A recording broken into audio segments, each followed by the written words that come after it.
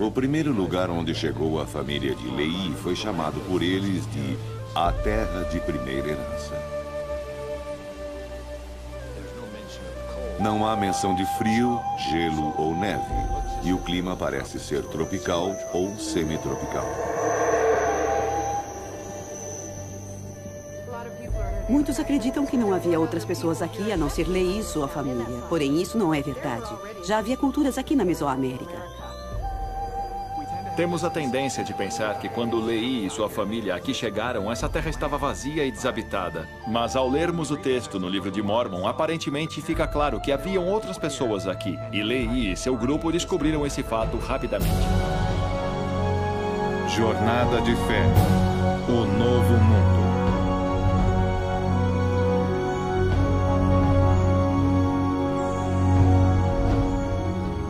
Após a difícil jornada através do solitário deserto da Arábia e do cruzamento do oceano até o Novo Mundo, Nefi, o obediente filho de Lei, estabelece os membros fiéis da família como um povo do convênio, num lugar que, de acordo com os eruditos, acredita-se estar localizado na Mesoamérica, nas regiões do sul do México e Guatemala.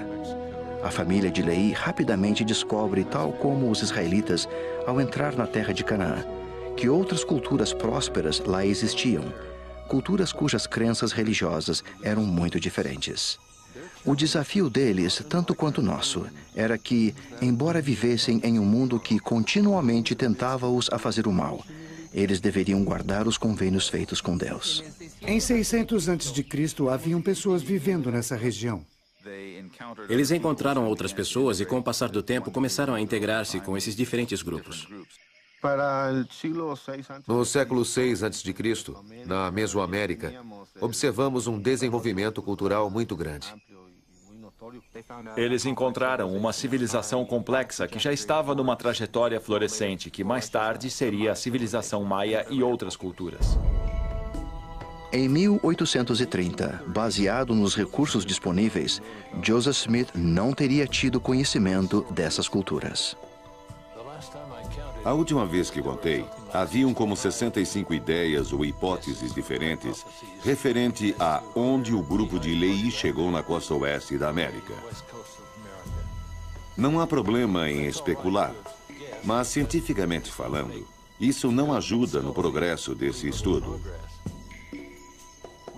Temos aprendido que devemos estudar exaustivamente sobre esse assunto. Devemos ver todas as possibilidades, toda a informação. Verificar se há um lugar onde ambas as culturas e a geografia se encaixam. Baseado no que foi encontrado, a Mesoamérica é o candidato mais forte dos locais do livro de Mormon. A grande maioria do livro de Mormon passou-se no Novo Mundo e as evidências indicam que aconteceu na Mesoamérica.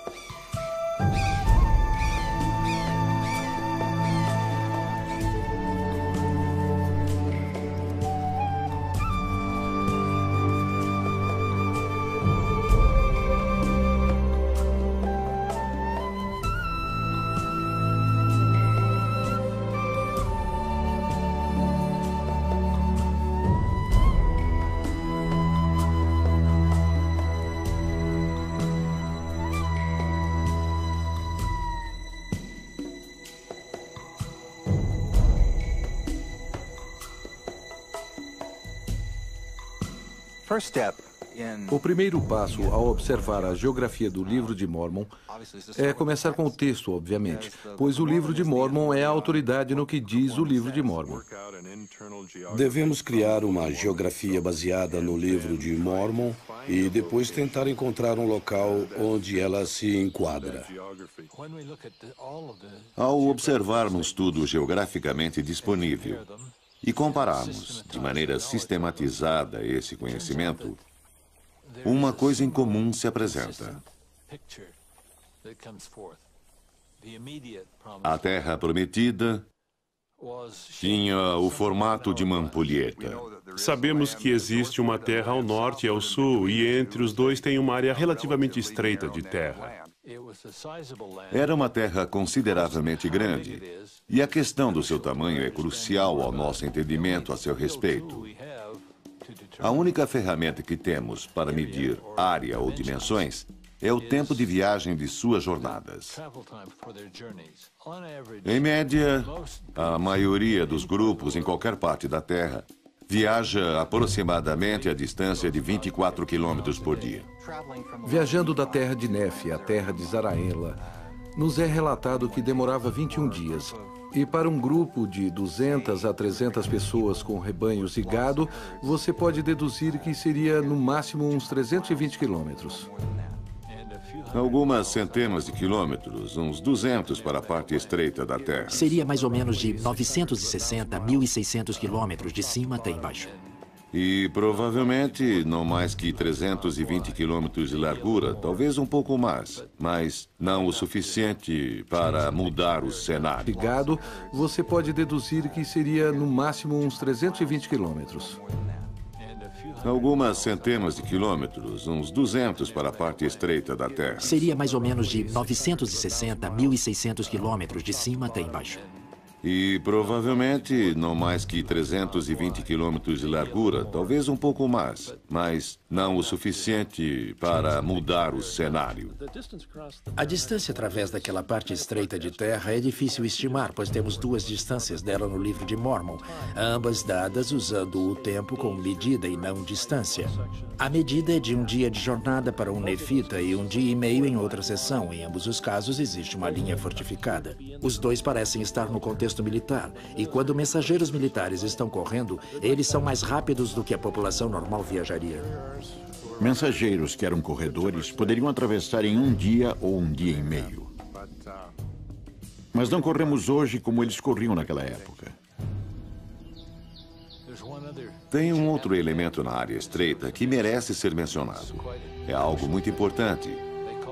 Eles o chamam de estreita passagem. Não é apenas a estreita passagem, ela está dentro da estreita passagem.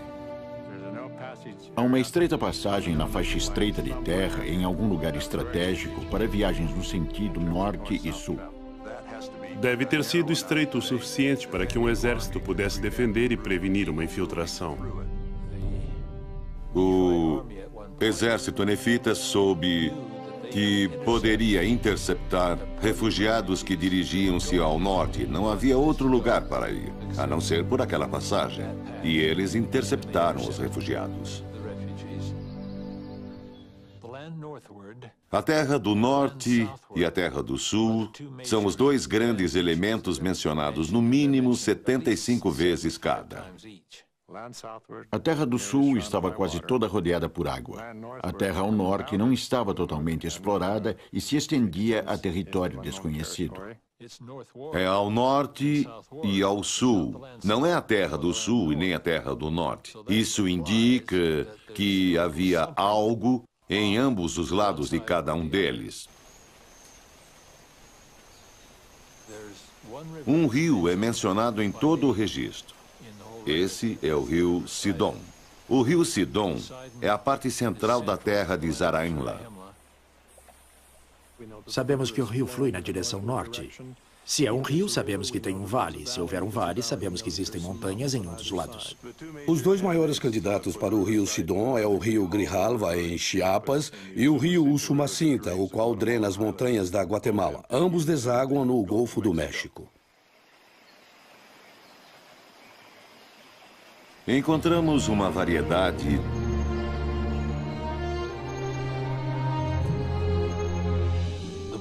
O livro de Mormon tem muitas das mesmas características culturais, todas as mesmas características da civilização da Mesoamérica. Mesmo que seja interessante falar da geografia e da arquitetura da Mesoamérica em comparação com o livro de Mormon, existe um contexto mais rico e profundo que podemos observar sobre as crenças da Mesoamérica, da religião mesoamericana, quando comparados com o livro de Mormon. Tem muitas atribuições culturais do livro de Mormon que se enquadram no contexto mesoamericano. Uma das coisas muito importantes do livro de Mormon é quão bem o livro de Mormon se paralela ao que conhecemos da pressão sociocultural que está acontecendo na Mesoamérica. Se você acrescenta aquelas atribuições culturais às atribuições geográficas, faz dele o candidato mais provável. O desenvolvimento da cultura mesoamericana coincide cronologicamente com as datas e eventos descritos no Livro de Mormon.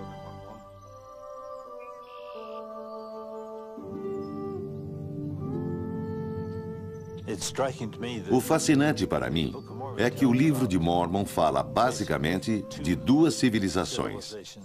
Primeiro, os Jareditas, e depois os nefitas, lamanitas e mulequitas. Indo em direção à terra do norte, a qual os nefitas chamavam de terra de desolação, encontramos o local onde os jareditas haviam morado. Então, onde estivermos olhando para os jareditas, terá que ser ao norte da passagem estreita de terra, e que está de acordo com a Mesoamérica. A sequência de tempo e localização para os Olmecs e os Jareditas se encaixa muito bem. O estabelecimento da cultura maia nas montanhas e planícies ocorreu no mesmo período de tempo que o estabelecimento da civilização nefita e lamanita. A última parte da era pré-clássica começa em meados de 500 ou 400 a.C. e continua até de 3 a 400 depois de Cristo. A terra onde os nefitas e lamanitas habitavam foi uma terra com cidades, cidades grandiosas. Tal como Nefe, Zaraenla, a cidade da abundância e muitas cidades menores. Na época do livro de Mormon, temos algumas grandes cidades que estavam florescendo na Mesoamérica. Temos a área pré-clássica de El Mirador, que foi uma grande cidade. E temos cidades que nos são familiares, tais como Palenque, Tikal, que estavam começando a florescer. Então, existiam cidades, e com isso a existência de uma população correspondente. É provável que a maior cidade na Mesoamérica seja a altamente reconhecida Teotihuacan nos altiplanos do México.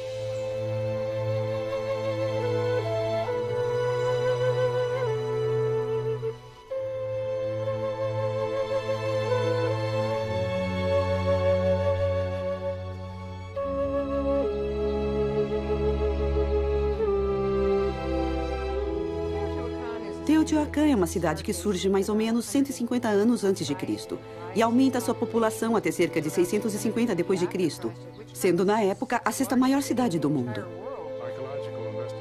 Investigações arqueológicas ali têm interessantemente atribuído o crescimento da cidade na época em que a migração nefita vinha da Terra do Sul no meio dos primeiros 100 anos antes de Cristo.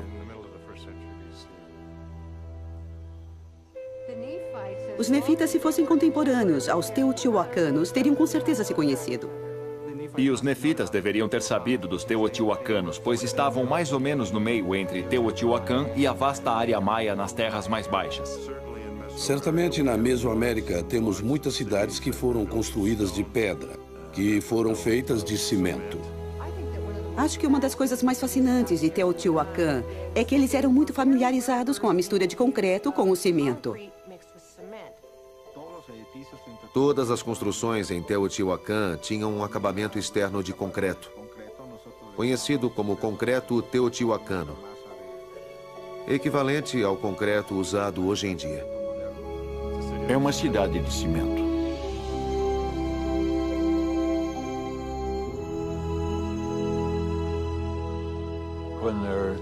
Quando há tantas pessoas envolvidas e tantas entidades sociais com cidades de grandes escalas, tem que haver um governo forte.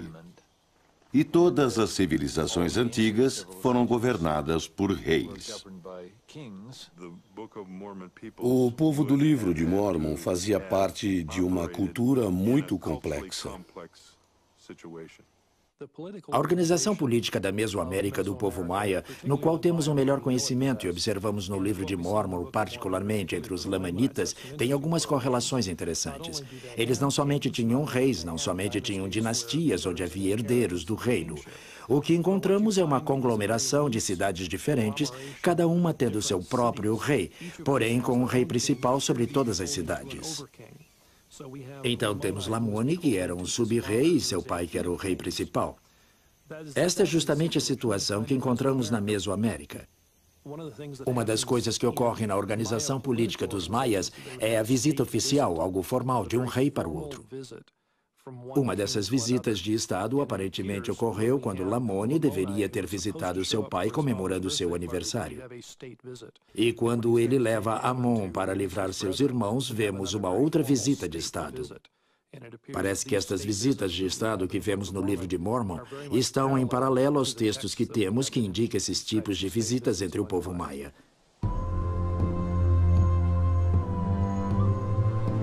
Quando Nefe e sua família se separam dos seus irmãos, eles vão além das montanhas e chegam às montanhas da Guatemala, onde eles fundaram a cidade de Nefe. A cidade está nas montanhas, em algum lugar. Nefe a descreve como acima. A melhor candidata para a cidade de Nefe provavelmente seria a área de Caminal Ruyu. O livro de Mormon nunca, de forma específica, menciona que eles se uniram a outras pessoas, mas tudo indica que eles se uniram a outros grupos de pessoas. Caminal Ruyu foi de fato a civilização berço do sul da Mesoamérica. Da mesma forma, em muitas maneiras, que a cidade de Nefe.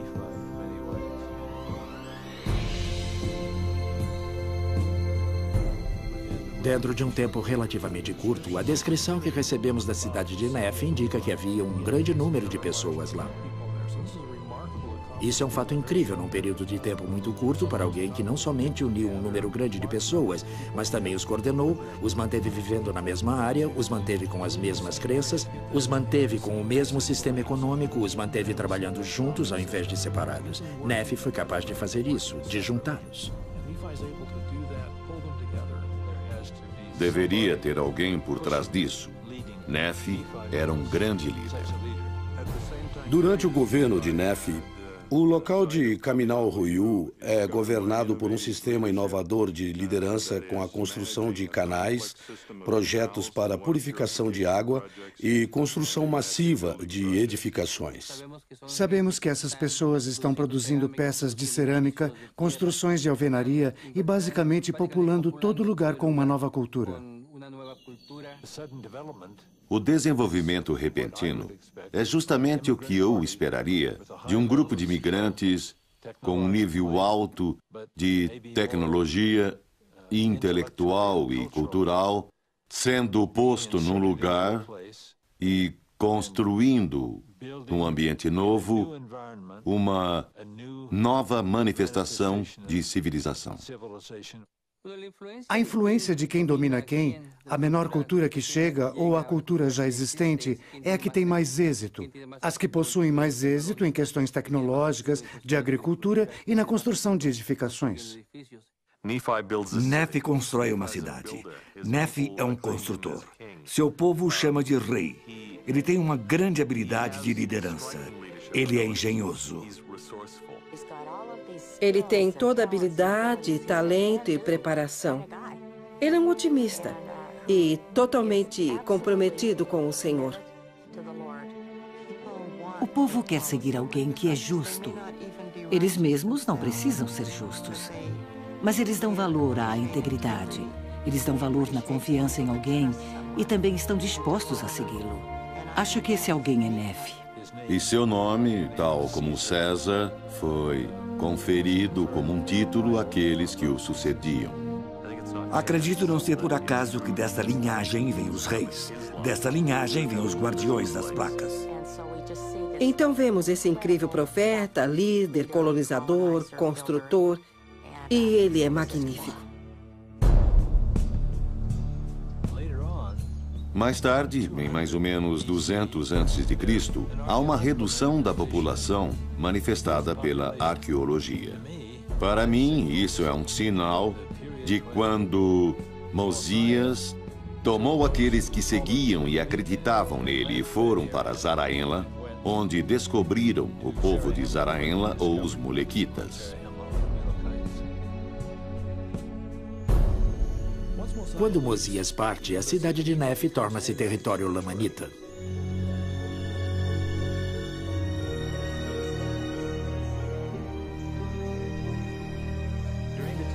Durante o tempo do livro de Mormon, eram falados múltiplos idiomas. Além dos idiomas, houve um número surpreendente de maneiras de escrever dentro da Mesoamérica.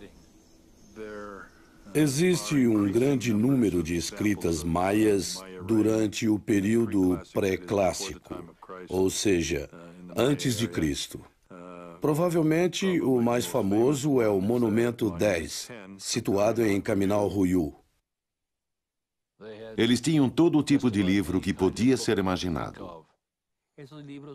Esses livros eram conhecidos como codexes. Eles se abriam como sanfonas, e ainda existem alguns deles. A capacidade de escrever foi extremamente comum na Mesoamérica. O idioma falado poderia facilmente ter mudado. Poderia ter tido uma raiz do hebreu, tal como o inglês.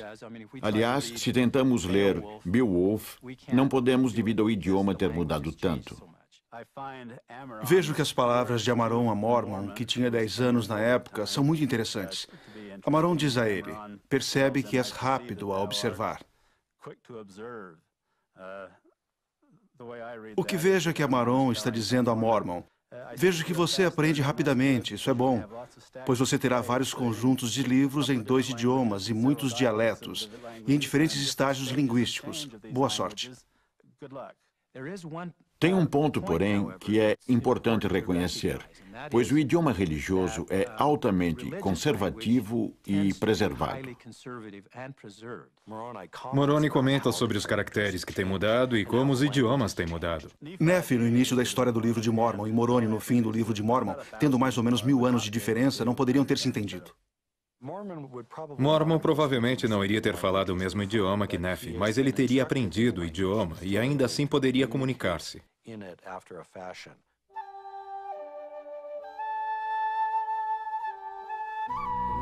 Uma das questões mais fascinantes sobre Lei e sua família, ao chegar no novo mundo, é como a transferência de cultura vai acontecer, qual é a direção. Para coisas do dia a dia, a direção tem que ser da Mesoamérica para suas vidas. Eles chegam nesse novo lugar onde estão rodeados de um povo que não tem nada a ver com eles, linguística, religiosa e culturalmente, com o desafio, a dificuldade de integrar-se ao novo ambiente, preservando o que é importante, aquilo que define você como povo. Para conservar seus princípios, normas e leis. Porque todo o desenvolvimento cultural é, com certeza, o reverso ou pelo menos diferente daquele existente. A dificuldade para eles foi manter o que sabiam ser divinamente dado a eles, divinamente presenteado a eles. Sob a lei israelita, os nefitas teriam sido proibidos, se fossem corretos, a casarem-se com qualquer um desses povos. Lamã provavelmente, sem nenhuma razão para cumprir com o convênio, não teve ressentimento em casar com nativos. Nem ele, nem seus filhos. Ou até mesmo adorar seus deuses. Lamã rapidamente se encaixou com o povo que lá estava. Existem indícios de que pessoas juntaram-se a eles. O primeiro exemplo que se fala, em termos históricos, é no livro de Jacó, onde Xerém, um anticristo, veio buscando Jacó e disse a ele: Irmão Jacó, tenho tentado vê-lo. Ele vem como alguém de fora, ele aprendeu o idioma, aprendeu algo da religião e tem sua própria proposta de religião, a qual quer apresentar e quer que seja aceita. Jacó indica a ele que não entendeu a religião do jeito que achava que havia entendido. Aquele povo provavelmente tinha sua própria tradição, Com certeza, idiomas diferentes. E também ideias que estavam de acordo com o que os profetas estavam tentando ensinar aos nefitas. Nefe inclui muitas passagens de Isaías, também Jacó, explicando como pessoas que não são do convênio podem ser adotadas ao convênio. Esses são grandes problemas da época de Nefe e Jacó. Depois disso, não há mais problema. E esse assunto nunca mais é mencionado. Eles descobriram como lidar com todos os outros que estão conhecendo e como estes poderão entrar no convênio. Logo, eles estão fazendo distinção entre os nefitas, que aceitam convênio, e os lamanitas, que não aceitam convênio. Então, não é somente a linhagem sanguínea de Lamã e Lemuel e os filhos de Ismael. É qualquer um que não fazia parte dos nefitas. É mais uma identidade cultural do que algo físico ou biológico.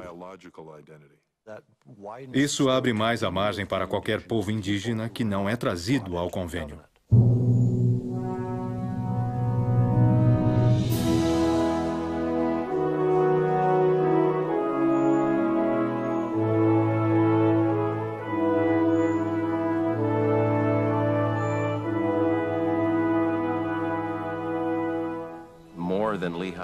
As escrituras nas placas de latão preservaram seu povo mais do que a família de Lei.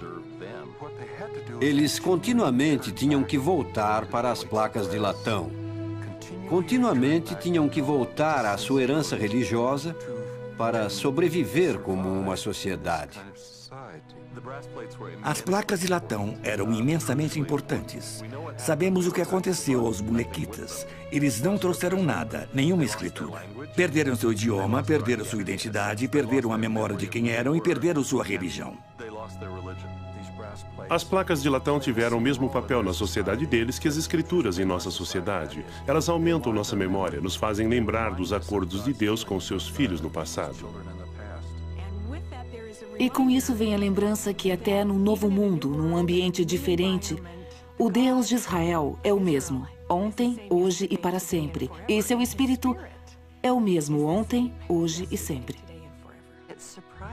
É surpreendente como o povo no Novo Mundo, como a família de Lei, viveu a lei de Moisés em sua pureza, sabendo por que foi dada. Eles esperavam por Cristo eles buscavam o Messias mencionado nas páginas iniciais do livro de Mormon. Por todo o livro de Mormon, começando pela primeira geração, se fala do Cristo prometido. Lei tinha uma noção até mais nítida devido às revelações que lhe foram dadas, especificamente sobre a vinda do Messias. Então os leitas e os nefitas entenderam melhor que os israelitas no Velho Testamento que a lei de Moisés não era um fim, mas um guia para algo além, que os sacrifícios apontavam a um grande sacrifício que ainda viria. Eles viam a lei de Moisés como algo que precisava de cumprimento, não algo que era para ser cumprido até o final do tempo.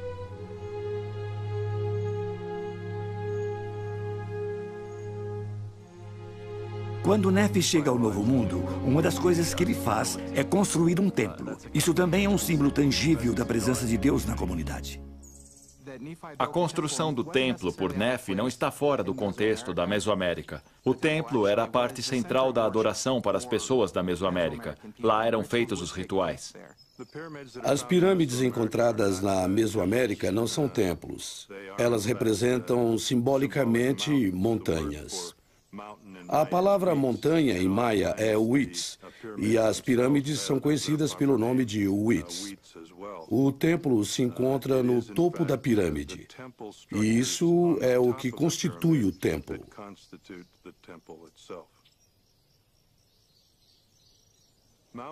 Montanhas eram consideradas sagradas. Por exemplo, na área ao redor do lago Atitlã, existem três vulcões, todos considerados sagrados. Na antiguidade, eles estavam conectados à criação da Terra, pois eles surgiram do primeiro oceano.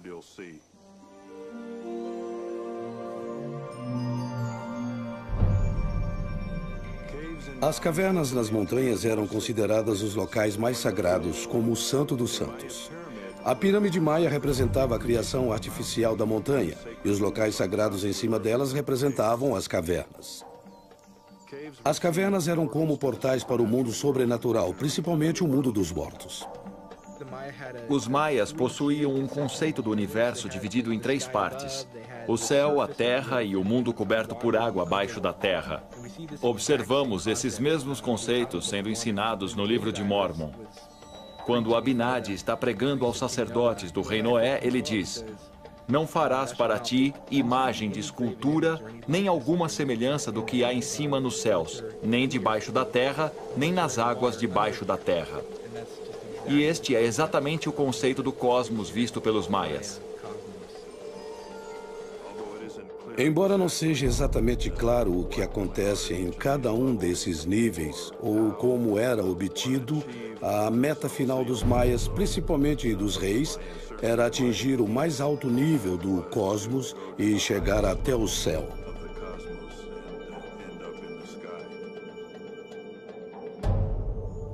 Para tornar-se um rei maia, o processo se iniciava com um nome de criança durante a coroação, onde geralmente recebia um novo nome de uma pessoa importante ou deus, e eventualmente tornava-se um deus.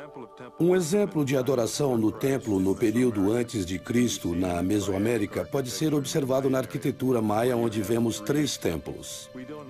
Não sabemos com certeza o que era realizado nesses templos, mas uma recente descoberta na Guatemala do período anterior a Cristo mostra murais com temas relacionados à criação.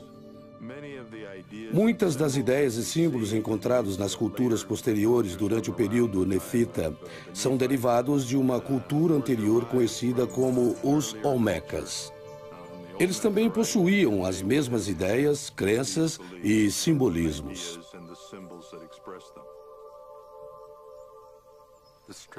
A linha mais reta para alguém seguir na antiguidade, de conversão, de cumpridores de convênio, é através do templo.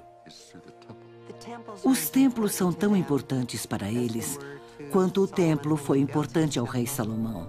E o templo deles, seu primeiro templo, foi feito de acordo com o modelo do templo de Salomão.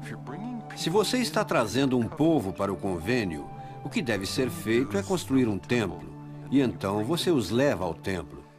Isso é o que os adere aos novos princípios, ensinamentos e convênios que tinham recebido. Apesar do templo ser o centro para ambos, o povo da Mesoamérica e o povo nefita eram os convênios feitos pelos nefitas no templo que realmente os separavam dos lamanitas e das outras culturas da Mesoamérica.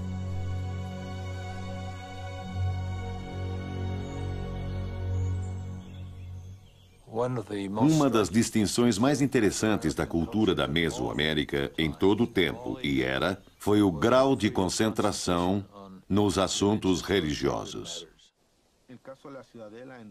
No caso dessa cidade, que está rodeada por muralhas e possui exatamente 12 plataformas piramidais na praça e três pirâmides principais ao leste, com certeza possui um simbolismo muito claro para os membros da igreja. O simbolismo mais forte da Mesoamérica está centralizado na ressurreição. O principal dos deuses maias era um deus que morria e ressuscitava. Muitas vezes o vemos saindo da terra. A terra é representada pelos maias como uma tartaruga, ou seja, ao ser ressuscitado, ele emerge do meio do casco quebrado da tartaruga.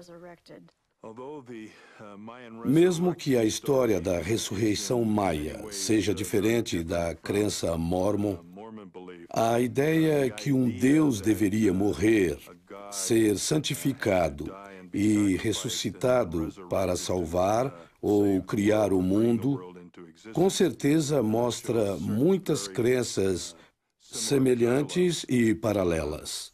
Observamos em ambas as antigas civilizações maias e no livro de Mormon que a morte e a ressurreição de um Deus faz parte do tema central religioso.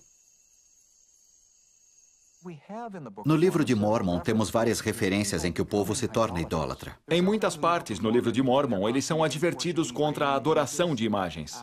Encontramos isso em Mosias 12 e 13 e também em Alma. Quando observamos isso pela ótica das religiões mesoamericanas, parece fazer muito mais sentido.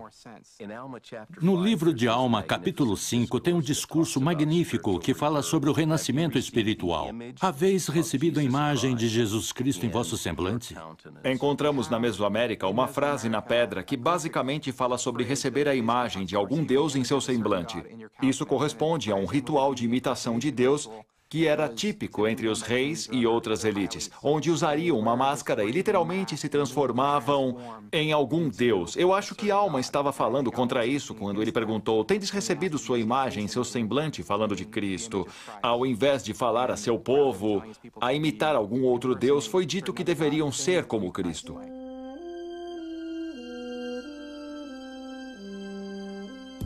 Quando Benjamin começa seu discurso, uma das coisas que ele fala especificamente é: sou um homem. Isso parece um tanto estranho. Acho que Benjamin, de fato, estava respondendo ao conceito do rei, ser divino. Ele queria dizer a seu povo que ele não era um rei divino. Os reis maias eram considerados divinos, então uma das coisas que Benjamin queria deixar claro é que o povo entendesse que ele era apenas um homem. Ele está reforçando sua humanidade a seu povo, pois ele não quer que o povo acredite no conceito do rei divino, conceito esse propagado na área mesoamericana. Isso acontece de novo quando Amon é perguntado pelo rei Lamoni: És tu mais que um homem? Numa das conversas, um dos assuntos críticos que eles têm é: Você é mais que um homem?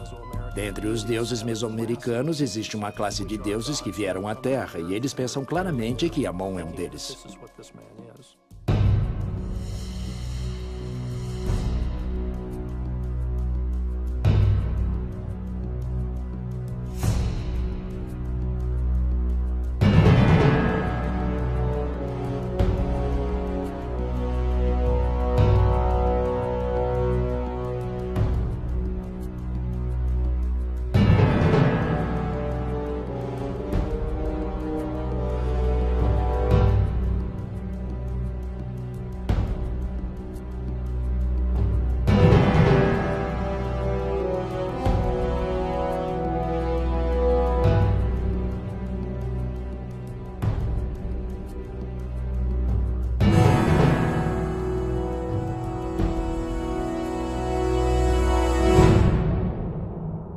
Os reis maias tinham uma prática de sangramento, ou seja, dando seu próprio sangue para rituais de sacrifícios em nome de seu povo. Isso era uma prática dos reis e das rainhas, pois as mulheres faziam também, para mostrar que eles eram divinamente chamados para governar. O governante era o mais importante. Quanto mais alto o nível social, mais importante era o sangue dele como oferta. Até onde sabemos, em quase todo o desenvolvimento cultural mesoamericano, existe muito sacrifício humano e normas sociais diferentes daquelas praticadas pela família de Leí e outros profetas. E, com certeza, tiveram muita dificuldade para conservar seus princípios e suas leis. A Mesoamérica acreditava que sacrifício do coração, sacrifício humano e dar sangue era importante para manter sua vida fluindo, para manter seus deuses satisfeitos. O sangramento do governante basicamente era um ato de dádiva para que os deuses favorecessem os maias e dessa maneira purificassem, dessem fertilidade e tivessem comunicação com esses deuses. Os seus deuses têm dado vida a eles, então eles precisam dar algo em troca para manter a vida contínua. E o que é mais importante do que a vida que Deus lhe deu? Então eles usavam o sacrifício humano, especialmente o sacrifício do coração, tirando o coração ainda batendo. Na carta de Elamã ao general Moroni, ele indica os problemas que estão tendo enquanto os lamanitas tomaram algumas de suas cidades. Ele diz que eles levaram muitos cativos, muitos foram mortos, exceto os capitães-chefes. Eles permaneceram vivos por alguma razão. Ele diz até onde sabemos que estão na terra de Nefe ou estão mortos. Esse povo é muito inteligente, são sociedades muito avançadas e com isso sabem que o coração é o motor do corpo. Assim, eles estão interessados em remover o coração enquanto está batendo e oferecê-lo aos deuses como uma oferta suprema. Em termos da Mesoamérica, isso é muito interessante, pois os capitães-chefes eram aqueles que possuíam mais valor, pois eles tinham mais prestígio. Então é necessário ter alguém com algum tipo de virtude. Pode ser castidade, pureza, a inocência de crianças, pode ser a força de guerreiros. Os capitães-chefes eram aqueles que você queria sacrificar. A moleque sabe da prática de sangramento feita pelos reis naquela área. Observamos isso no livro de Mormon, em Alma 34:10, onde diz: Porque é necessário que haja um grande e último sacrifício. Sim, não um sacrifício de homem nem de animal, nem de qualquer tipo de ave, pois não será um sacrifício humano. Deverá, porém, ser um sacrifício infinito e eterno. Ele está essencialmente negando a divindade desses reis ao dizer que não é um sacrifício humano que vai espiar pelos pecados do povo, mas tem que ser um sacrifício divino, tem que ser o sangue de um Deus. Aí ele especificamente se refere ao sangue de Cristo. É muito difícil para o povo da Mesoamérica largar seus hábitos antigos. Eles sentem que os deuses não vão favorecê-los. Existe claramente um nítido paralelo sobre o coração e as metáforas do coração no livro de Mormon e a Mesoamérica. Quando você é minoria, é muito difícil manter suas ideias puras. Essa era a dificuldade de Lei e sua família. Quando a lei de Moisés acabou, o novo sacrifício era um coração quebrado e um espírito contrito literalmente um sacrifício de coração.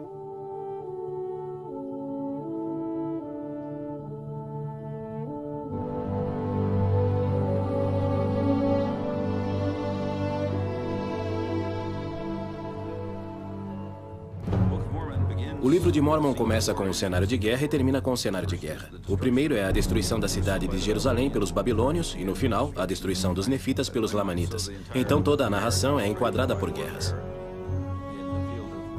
No campo da arqueologia, todos estavam seguros que não houvera guerra na Mesoamérica.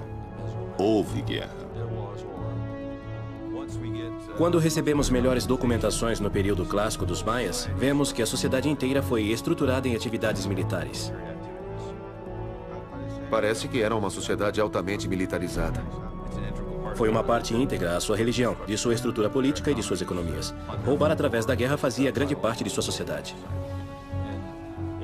Todos os anos recebemos mais e mais informação sobre a importância das guerras, como eram. Isso é exatamente o que diz o livro de Mormon.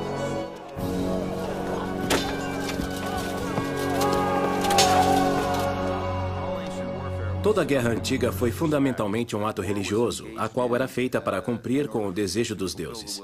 Isso certamente é refletido na Mesoamérica e no livro de Mormon. Não conheço nenhum general antigo que não iria consultar seu Deus de um jeito ou de outro antes de entrar em guerra. O livro de Mormon reflete a Guerra Santa em várias formas. A primeira é o papel explícito que profetas tinham no livro de Mormon em assuntos de guerra. Os soldados nefitas consultam Alma para receber seu guia profético sobre a batalha antes de ser lutada. Isso é muito semelhante às práticas do Oriente Médio e da Mesoamérica. Os tipos e as descrições das formas de guerras no livro de Mormon encaixam-se muito bem com a Mesoamérica. O livro de Mormon menciona vários tipos de fortificações. Talvez as mais conhecidas tenham sido aquelas construídas pelo general Moroni mencionadas no livro de Alma. Se o terreno for plano, uma vala é escavada e o material tirado é colocado no lado oposto da vala, criando dessa maneira uma muralha. Em cima dela era construído um reforço de madeira, uma cerca. Os inimigos deveriam passar pela vala, subir um monte de terra e passar pela parede de madeira.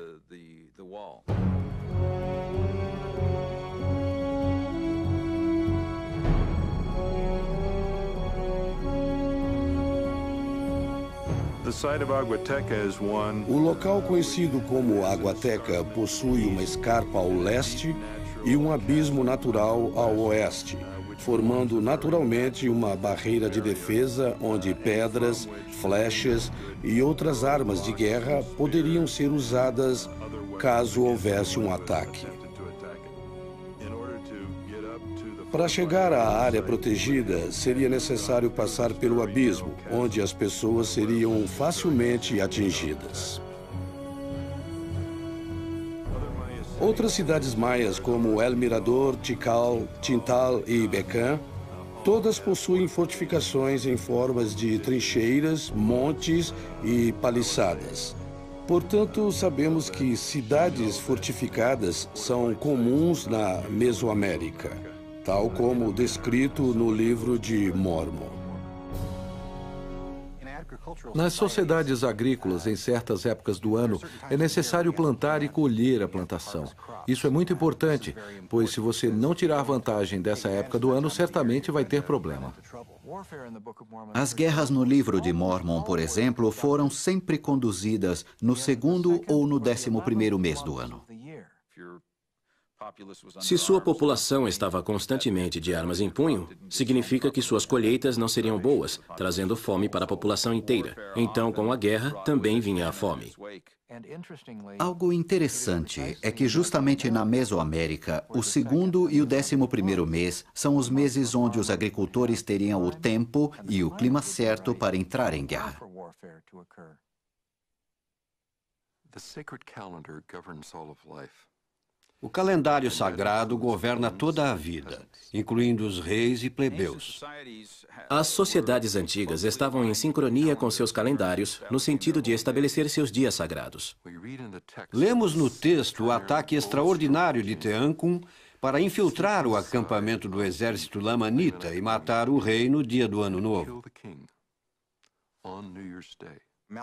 As forças de Amalequia estavam tentando entrar na Terra do Norte e as forças de Teancum os impediam. Sabemos que as forças de Teancum eram uma espécie de elite, equivalente a um militar especializado. O rei estava esperando o dia do Ano Novo para cumprir com certos rituais que, essencialmente, envolviam uma segunda coroação. Quando o rei morre no dia antes da segunda coroação, a estrutura inteira, religiosa e política, entra em caos e confusão, possibilitando assim um contra-ataque naquele momento mais efetivo. Seria algo imensamente chocante para um povo acordar no dia do Ano Novo e descobrir que seu rei foi assassinado durante a noite. Isso teria sido um choque psicológico terrível, não meramente pelo assassinato do rei, mas pela época do ano. Isso significa que alguma coisa está terrivelmente errada. Os astros estão fora de sincronia. Para o rei morrer, no dia que era para ser celebrado, não somente teria deixado os soldados lamanitas sem líder num sentido militar, mas também certamente no sentido que os sinais dos céus estavam contra eles. O povo no acampamento do rei fica frustrado pelo calor, trabalho e cansaço do dia. E ainda assim é o ano novo. Isso indica alguma coisa. Se o calor do dia os afetou durante o ano novo, então não estamos falando de Nova York e não estamos nos referindo ao nosso calendário normal. Provavelmente os dois. Estamos falando de uma área que não era familiar para Joseph Smith e de um calendário que era diferente do nosso. O dia do ano novo era quente, tão quente que drenou a energia do povo, deixando-os exaustos. É algo extraordinário ver que Joseph Smith conta a história de Teancum, que está de acordo com o que sabemos das antigas sociedades na América. Quero dizer, que pessoa morando no interior de Nova York poderia pensar numa história assim? Ninguém. Ninguém tem uma história assim. Os mesoamericanos eram muito criativos no desenvolvimento de uma variedade de armas. Obsidiana é um vidro vulcânico com bordas extremamente afiadas. Às vezes tão afiadas como uma lâmina. Podemos dizer, baseado nas evidências arqueológicas e na arte do Novo Mundo, que as espadas foram o que agora é conhecido entre os astecas de Matwilton. Isto é uma lâmina de madeira. Dentro dela existem pedaços de obsidiana, formando uma quina verdadeiramente mortal. Elas eram tão afiadas que existem relatos que dizem que a cabeça de um cavalo foi cortada num único golpe. Estas armas eram muito eficientes e mortais, e foram usadas devido aos nefitas terem perdido o acesso a certas fontes de metal, e por isso não puderam transmitir e replicar sua tecnologia em metais.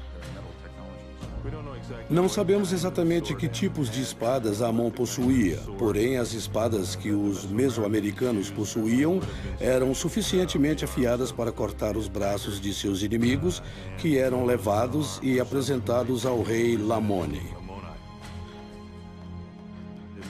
Durante as guerras, a madeira poderia ter sido manchada de sangue. O sangue era uma substância sagrada e reverenciada pelas pessoas da Mesoamérica. E dessa maneira, os guerreiros provavelmente tinham muito orgulho de suas espadas manchadas de sangue. No livro de Mormon, os antinefleitas tiveram suas espadas manchadas de sangue. Como sinal de sua conversão, eles enterraram nas profundezas da terra aquelas espadas. Eles levaram tão a sério seu arrependimento que verdadeiramente enterraram suas armas de guerra e fizeram convênio de que jamais as tomariam outra vez. Era uma tradição na Mesoamérica enterrar as ofertas em buracos profundos na terra. Isso servia de testemunho diante de Deus que não iriam manchar de sangue suas espadas e retornar aos seus pecados.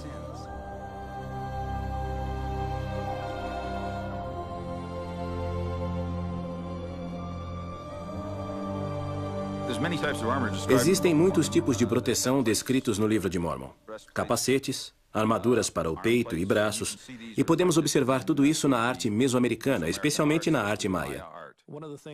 Uma das coisas que o capitão Moroni fez foi inovar essas armaduras.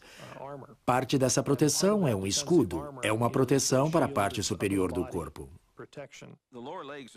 As partes inferiores, as pernas, são difíceis de proteger, porque é preciso manter a flexibilidade dos joelhos, e para isso é necessário uma área exposta naquele local.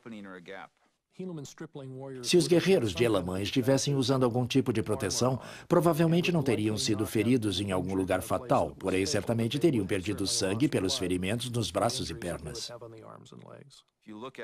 Se observarmos a arte marcial mesoamericana, fica evidente que os mesoamericanos também não tinham proteção abaixo dos joelhos. Eles preferiam a velocidade e a mobilidade ao invés de proteção, por isso não protegiam a parte inferior das pernas, tornando-as vulneráveis.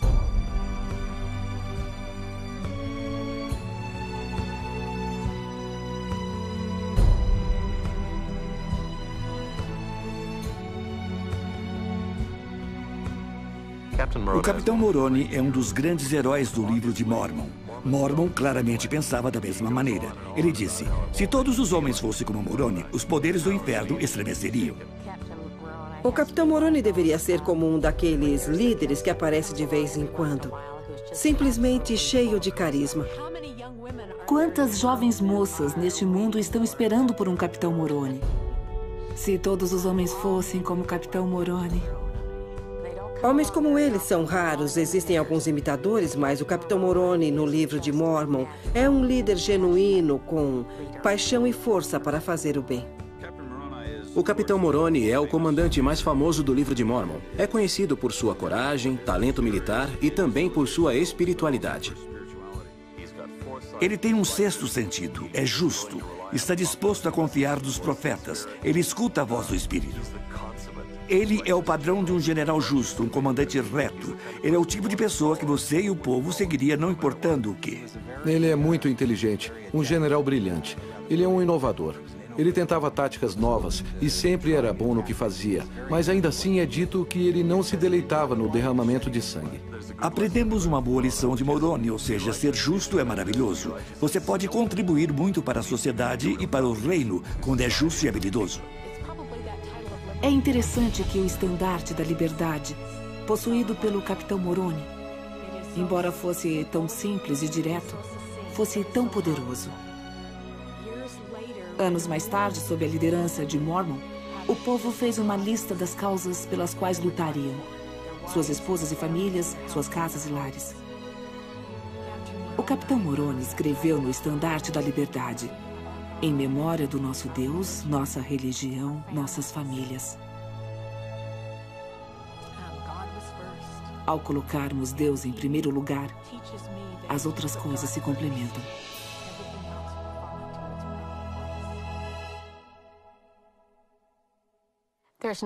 Não existe nada que toca mais a mãe do que a história dos dois mil guerreiros. Os soldados falavam sobre a fé de suas mães, mas não consigo imaginar essas mães ou pais sentando com seus filhos e ensinando de uma maneira estruturada sobre a fé.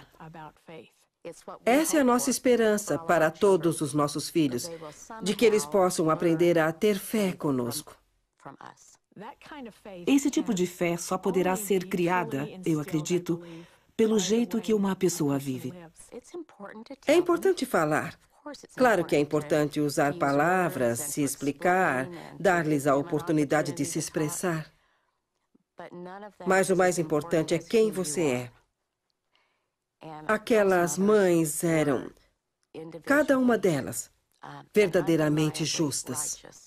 Ao observarmos os pais daqueles jovens guerreiros, notamos que eles falam sobre fazer um convênio. Os pais fizeram parte de um povo que havia feito um convênio, após se arrependerem e virem a Cristo, de enterrar suas armas e nunca mais lutar.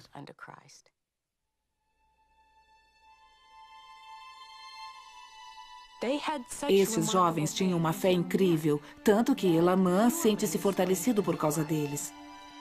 Isso mostra quão fortes foram esses ensinamentos, que não apenas fortaleceram aqueles que o receberam diretamente, mas através de seus exemplos, aqueles jovens influenciaram até um grande líder militar e religioso. A diferença foi que eles não apenas falaram sobre fé, mas viveram-na. Eles eram cheios do testemunho, cheios de lealdade ao Senhor. Vemos isso de tempos em tempos, mas nesse caso havia dois mil deles. Elamã os chamou de filhos. Estas palavras nos ajudam a ver o relacionamento que havia entre eles. Ele não os considerava como seus guerreiros, mas como seus filhos. Nada pode substituir uma mãe justa e sua influência não tem fim. Mães justas influenciarão não apenas sua posteridade imediata, mas também as futuras gerações. Eles lutaram contra o maior exército dos Lamanitas e os atemorizaram ao ponto de desistência. A primeira coisa que Elamã faz é contar os mortos em seu exército. Mas ninguém havia morrido e os jovens explicaram a Elamã. Nossas mães nos prometeram que se fôssemos fiéis, seríamos salvos. Um dos princípios que os dois mil guerreiros aprenderam de suas mães era que eles não deveriam focar suas vidas no temor. Na segunda batalha, a mesma coisa acontece. Elamã corre para contar os mortos, e deveria haver um bom número deles. Mas devido às suas mães, nenhum morreu.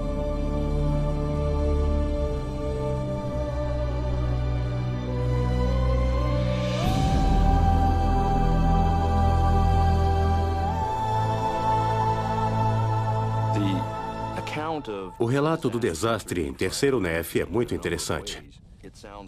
Parece que poderia ter sido um furacão, ou um grande terremoto, ou talvez uma combinação desse tipo de coisas.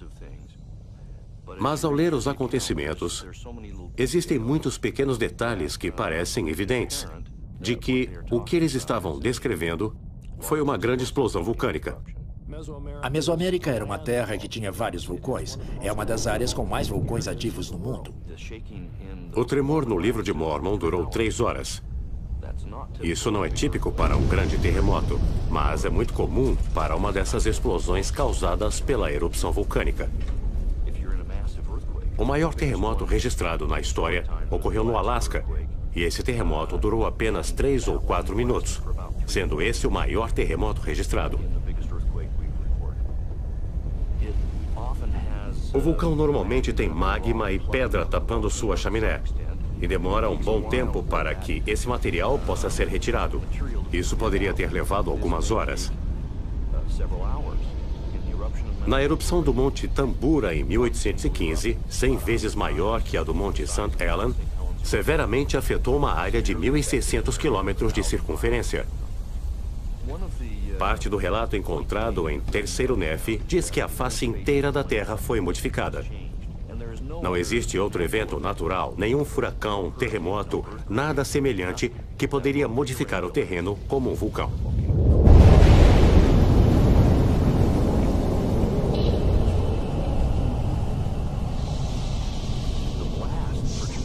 A explosão inicial produz ventos de cerca de 480 km por hora, esses ventos podem causar muita calamidade e destruição.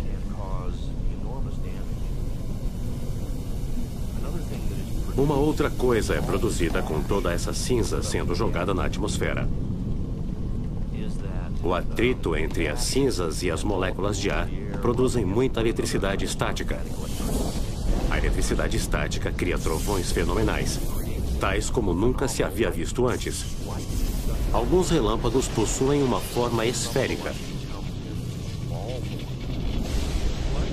Os relâmpagos faziam parte dos acontecimentos durante essas erupções vulcânicas.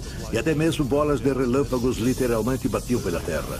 Provavelmente muitas pessoas tenham sido mortas devido a este fenômeno.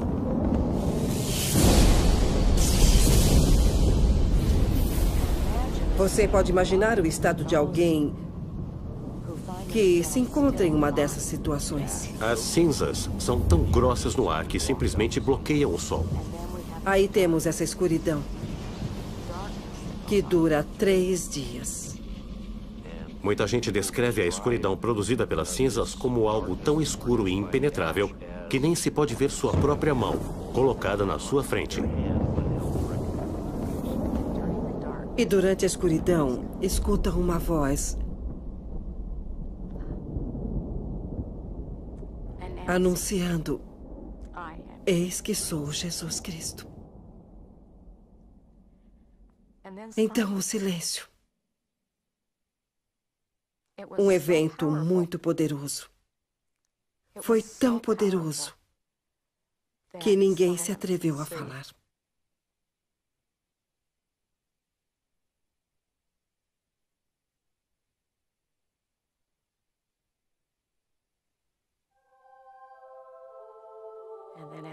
Depois de algum tempo, ele aparece. Ele aparece ao seu povo, agora preparado de um jeito que nem podemos imaginar para vê-lo. Eles são aqueles que escolheram a Cristo. Aqueles que sobreviveram às catástrofes devido à sua fé e retidão. Desde o tempo que Lei e sua família deixaram Jerusalém, a mensagem é que Jesus é o Cristo. Ele é o Salvador do mundo. Para mim, parece que todos os eventos antes de terceiro Nefe nos levam à vinda do Senhor no novo mundo. Essa é a mensagem mais importante do livro de Mormon. O Salvador cura este povo de três maneiras. A primeira é criar uma ponte entre o abismo, crescido por séculos, entre um e outro lado da família, da qual nasceram duas nações que se mantiveram em conflito durante todo esse tempo. O Salvador fala ao seu povo sobre união, a união que existe entre o Pai, o Filho e o Espírito Santo, sendo esses três um só Deus. Ele cura as pessoas do sentimento de estarem no lugar errado. Ele deixa muito claro que ele deu esta terra como sua herança. Eles são um em propósito e mente. Eles se tornam como o pai e o filho. Eles se tornam unidos. A terceira cura que ocorre é o perdão dos seus pecados. O Salvador vem para libertá-los de si mesmos. Eles o conhecem, o adoram. Cristo veio até eles. Essa maneira é tão diferente daquela ocorrida em Jerusalém. Parece que você está entre o povo quando Cristo os administra. No início, quando ele aparece, ele convida a todos, um por um, para vir até ele e sentir as marcas das suas mãos e pés. As crianças também são convidadas. Um dos fatores importantes dessa história é a interação entre Jesus e as crianças. Depois ele pediu que as crianças fossem trazidas até ele, uma a uma, e ele as abençoou. Depois elas são rodeadas por anjos. Então ele se vira aos adultos e diz: Olhai para vossas criancinhas. Esse evento nos conforta. Sentimos seu amor. Então ele fala sobre a lei de Moisés. Não vim para destruir a lei, nem os profetas que ensinaram a lei. Eu vim para cumpri-la. Ele cumpriu a lei de Moisés. Ele tornou-se aquilo pelo qual nasceu. o Salvador, nosso advogado, nosso redentor. Acho fascinante que, embora a visita do Senhor tenha sido incrível, eles, no meio a tudo isso, presenciaram também as bênçãos de ter o Espírito com eles. Então o Salvador foi capaz de fazê-los entender que ele não estaria com eles para sempre, porém um Deus ficaria com eles o Espírito Santo.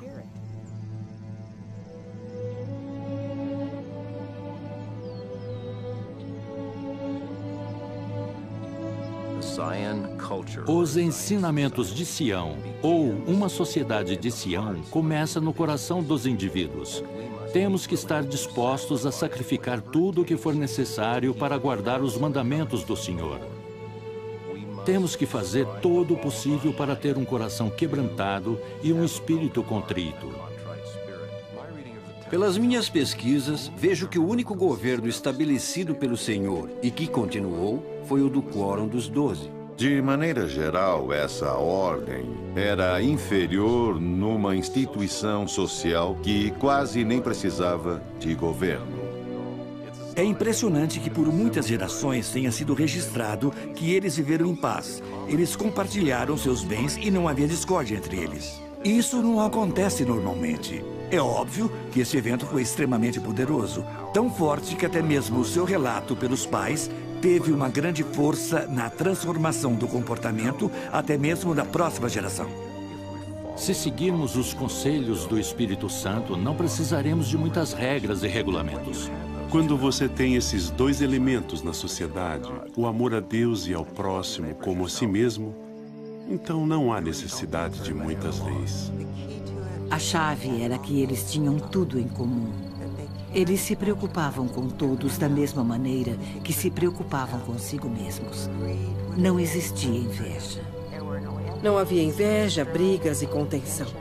Tudo que possuíam era em comum. Eles haviam consagrado. Haviam feito convênios e se consagrado. Trabalhavam arduamente. Não era uma vida fácil. Eles reconstruíram suas cidades, estavam muito ocupados. Com certeza eram felizes. A felicidade verdadeira significa que você está trabalhando junto com outros, que está ocupado. Uma das razões pela qual a lei não precisava ser imposta interna ou externamente era que a lei estava gravada em seus corações.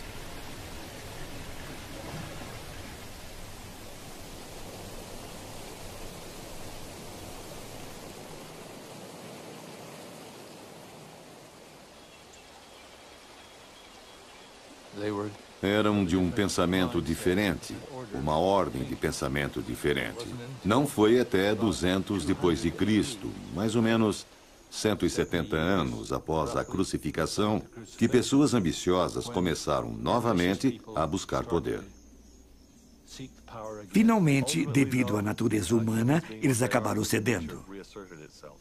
O povo começou a competir mais e mais, começaram a ter orgulho através de suas roupas finas, joias e nas suas igrejas, tendo dessa maneira conflitos e a necessidade de mais governo.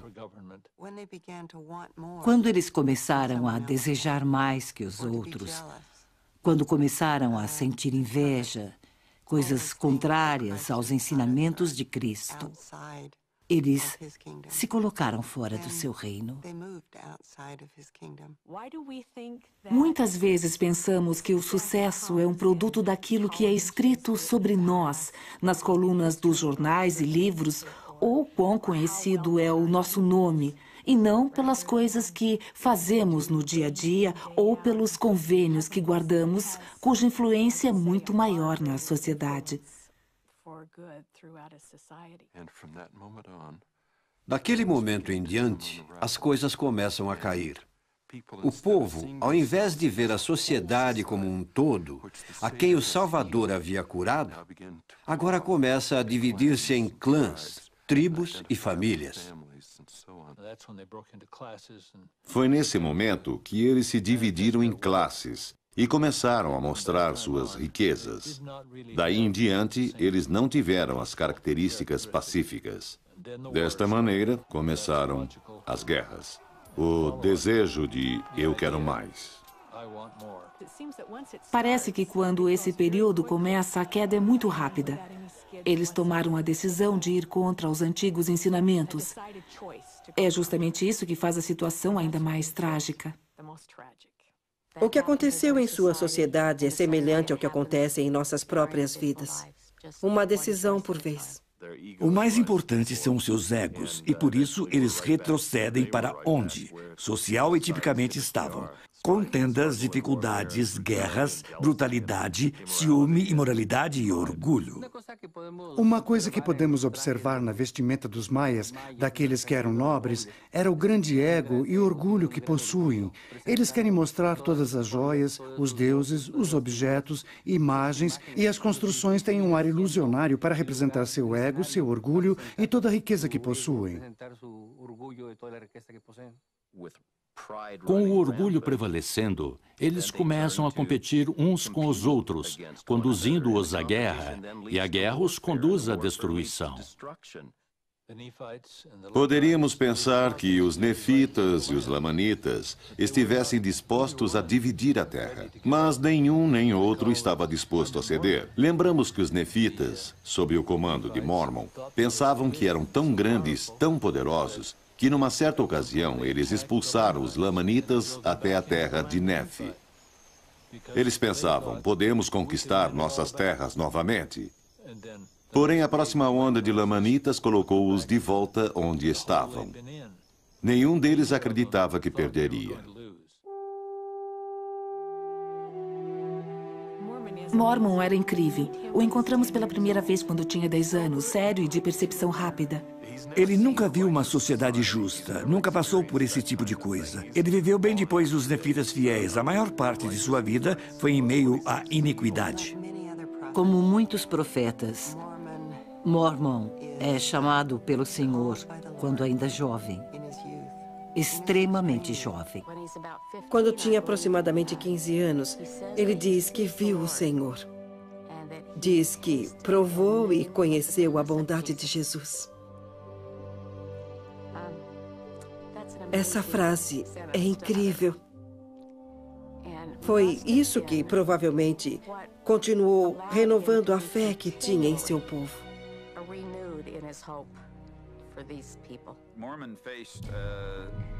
Mormon enfrentou uma situação semelhante à de Moroni, mas de alguma forma até pior. Ou seja, a maioria do povo que ele queria salvar se recusava a ser salvo. A coisa mais importante e necessária para aliviar os problemas militares era uma reforma social e espiritual entre a comunidade. Porém, eles se recusavam a tal reforma.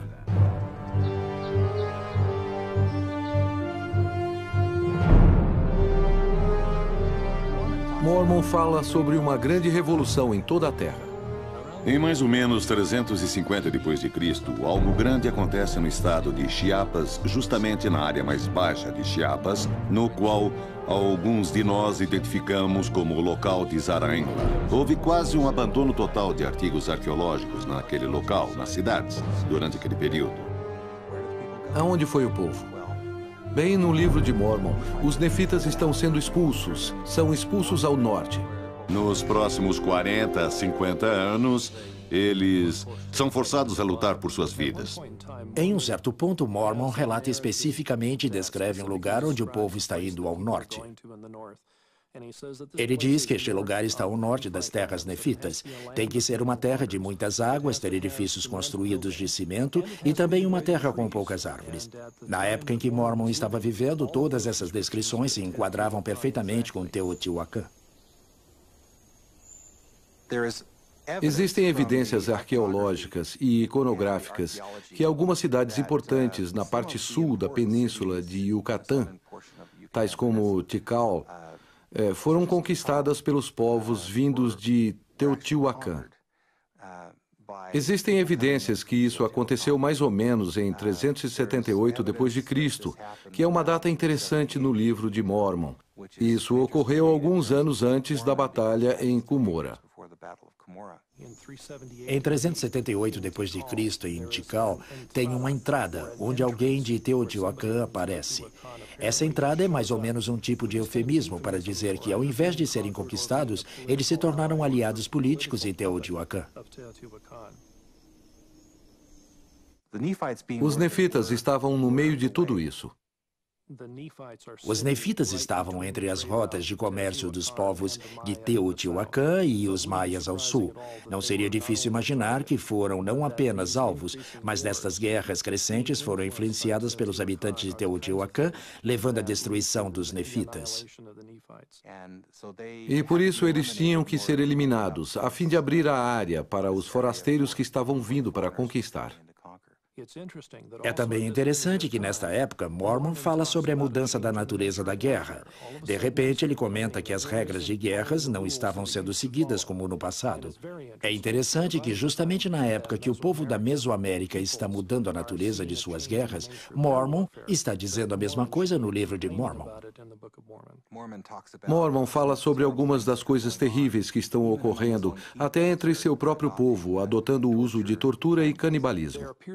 Parece que a destruição maior vem dessas guerras, ao invés daquelas vindas de Teotihuacan. As táticas parecem ter sido mudadas. Perto de Tikal, num lugar chamado de Rio Azul, você vê monumentos que mostram a tortura de cativos.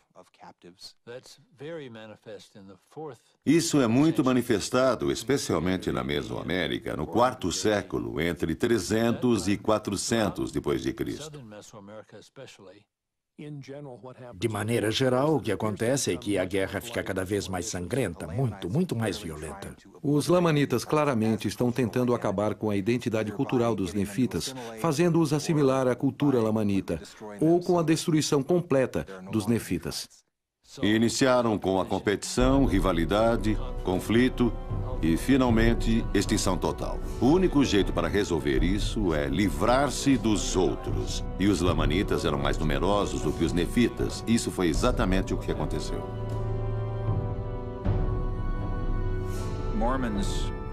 A grandeza de Mormon foi manifesta pelo fato de que ele pôde evitar a destruição de seu povo por tanto tempo.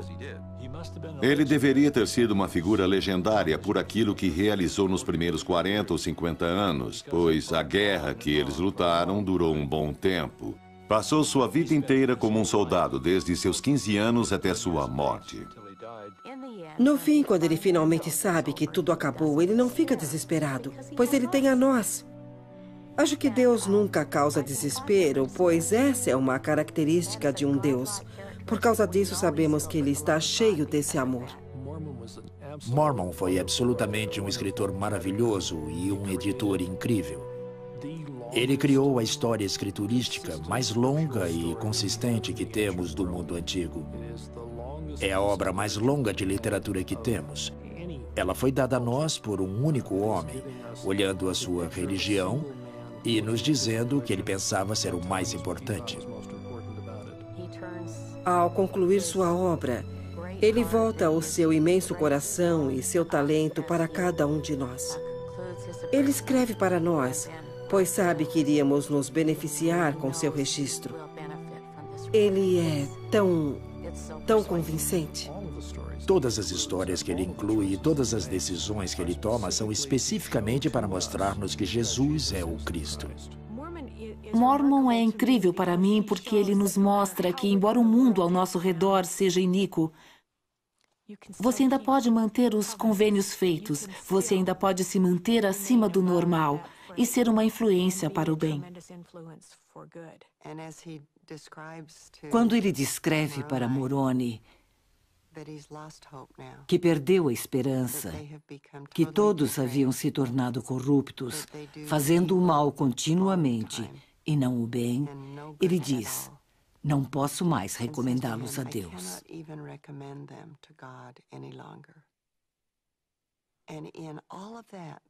E apesar de tudo isso, vemos a nobreza dele ao se despedir de seu filho. Suas próximas palavras na carta dizem: Mas eu posso te recomendar a Deus. À medida que Moroni inclui muitas das cartas e sermões de seu pai, Observamos o amoroso relacionamento entre eles. Muitos dos registros de Moroni são devotados com as palavras de Mormon. Vemos esta pequena família em um oásis no meio de tanta devastação. É um grande desafio e inspiração para nós, dizendo que não há desculpa, não podemos dizer que é impossível. Podemos ver Mormon como um exemplo de fidelidade em tempos difíceis. Eles só têm um ao outro. Sabem que têm ao Senhor. Acho que se tem uma mensagem em particular quando Moroni está só pela terra por todos aqueles anos, é quando ele finalmente diz: Estou só. Essa mensagem significa que, se estivermos com Deus, isso é o suficiente.